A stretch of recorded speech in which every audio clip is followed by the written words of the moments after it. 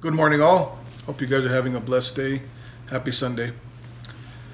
Uh, we're all aware of our current event uh, situations uh, that's going on, and uh, there's a lot of there's a lot of distractions and and things going on in our current affairs.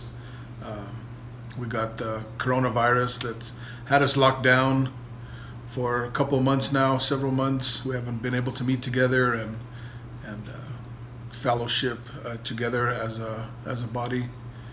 Um, the things that are happening now, the the riots that are happening, and, and the chaos and the looting and the and the hurting of people.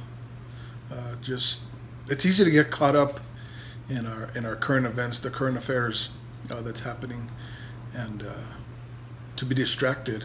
It reminds me of uh, Luke when when some people came to Jesus uh, to tell them about some of the some of the events that have taken place.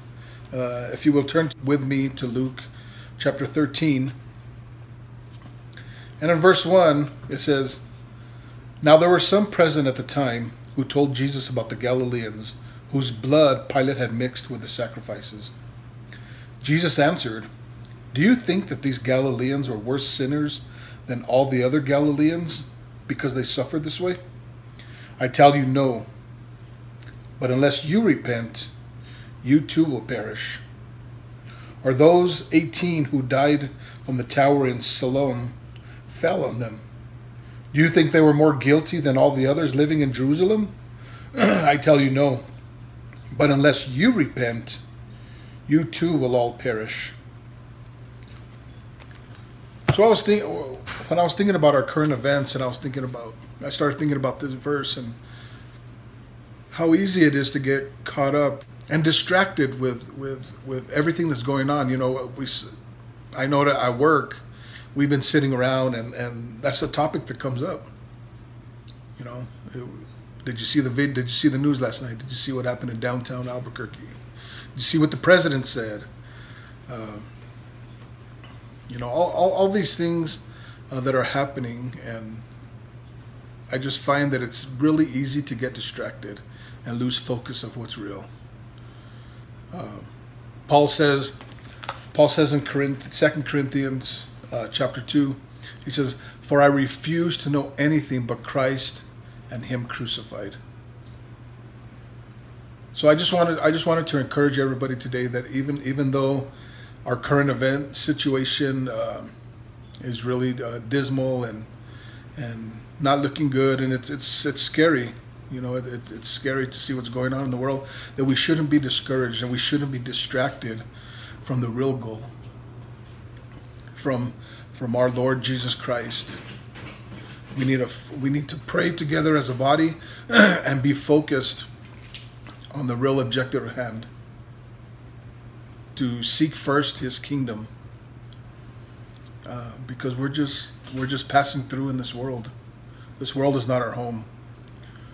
Uh, so, I just wanted to to encourage everybody with that, and and uh, as we sit down and partake of, uh, uh, remember, honor the Lord's Supper today, that uh, that we just really focus and not be distracted and and and be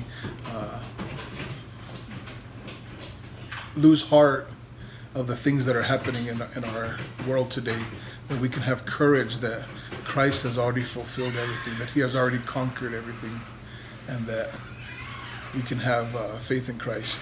Let us pray. Dear Heavenly Father, uh, just thank you as we as we come to commemorate the death of your Son who died on the cross. Uh, we know that He is the truth and the light, and we pray, Lord we pray that as we partake of this body, the bread, that we remember his sacrifice that he died on the cross, how his body was scorned, and how it was rejected by, by man, and how his death was a horrible death, but he gave his life freely for us. A life that was he was willing to give on our behalf so that we can have life. We thank you, Lord. It's in Jesus Christ's name we pray. Amen.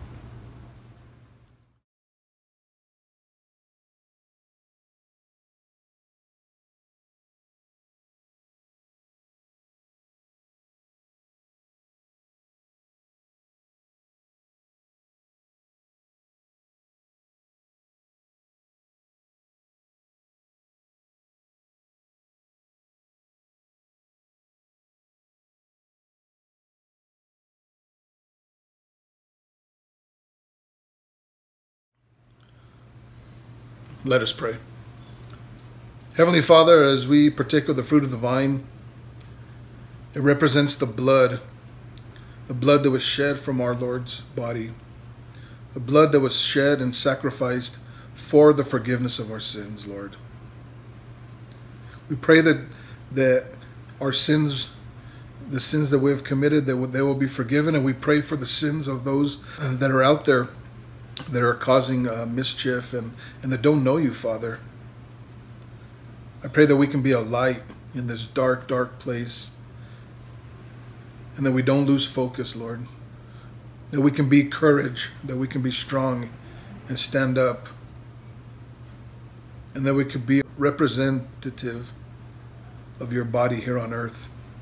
That we can lead people to Christ, that we can be bold and courageous and speak the name of Jesus to those that we come in contact with, Lord. We thank you for your sacrifice. We thank you for your Son. May your name always be glorified forever and ever. Amen.